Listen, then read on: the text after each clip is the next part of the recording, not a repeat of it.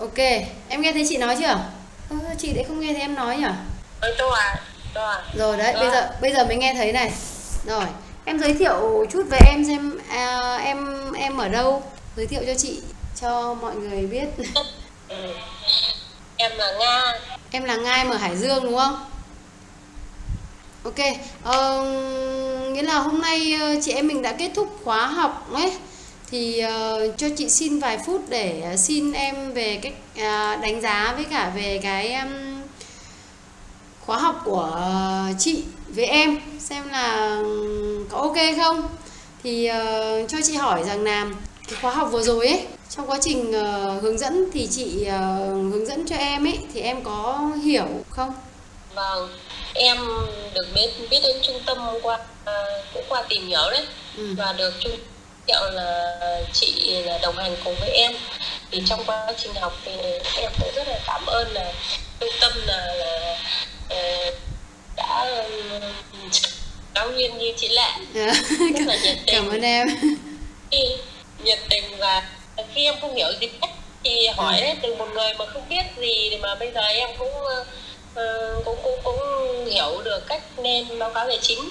À, rồi cảm ơn em. Ờ, thế thì trong quá trình học ấy thì em thấy giáo trình bên chị ờ, có dễ hiểu không? Dễ hiểu.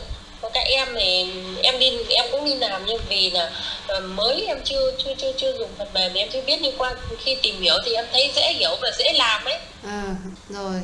Cảm ơn em. Hôm nay là chị em mình kết thúc khóa học rồi ấy. Thì là trong trong quá trình mà ừm, làm việc sắp tới này nếu mà em có vướng mắc gì thì em cứ nhắn cho chị, trực tiếp cho chị. Chị sẽ giải đáp và hướng dẫn ờ, thêm cho em. Và ví dụ như là có những cái gì mà phát sinh trong quá trình ờ, làm việc tại công ty ấy, đấy, nó có những cái phát sinh ngoài cái giáo trình mà em học ấy, thì em cứ nhắn cho chị. Chị sẽ tư vấn và hướng dẫn em cách làm. Và chị sẽ đồng hành với em trong suốt quá trình em làm việc. Đến khi nào mà em lên báo cáo tài chính nhuần nhuyễn thì thôi. Ờ, em, em cảm ơn chị Lệ nhiều Tại vì đây là một cái lĩnh vực mà em cũng gọi là mới đấy. Chưa Ừ. chưa chưa. Mà, mà chị hướng dẫn em từ ngay từ những cái bước đầu mình làm cái gì. Ừ. đó là trong quá trình học ấy chị thấy em là cũng là một học viên rất là nhanh.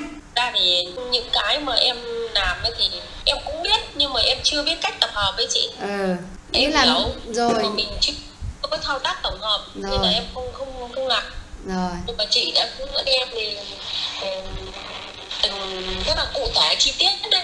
Rồi. em biết em biết được, được cái này nó là chi phí nhưng mà có cái là mình mình chưa biết tập hợp lên tập đấy. hợp nó vào như thế nào chị- đúng không?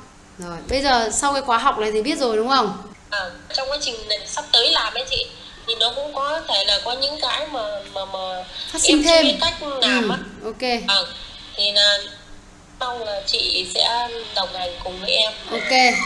Có thể là rồi, yên tâm. Nghĩa là trung tâm kế toán Việt Hưng bên chị ờ, nói chung và bản thân chị là một giáo viên hướng dẫn nói riêng.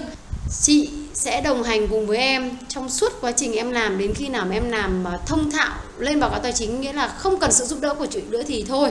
Em yên tâm nhá. Không chỉ như là một ngày một, ngày hai mà có thể một năm, hai năm nhá. Rồi, ok. Thế hôm nay mình sẽ kết thúc khóa học ở đây nhá rồi chúc em ờ, hoàn thành tốt công việc sắp tới. Rồi. luôn ờ, mạnh khỏe và công tác tốt nha. Rồi, cảm ơn em. đã giới thiệu cho em một giáo viên là rất là nhiệt tình. Rồi cảm ơn em. Rồi chào em nhá. Nha. Ờ.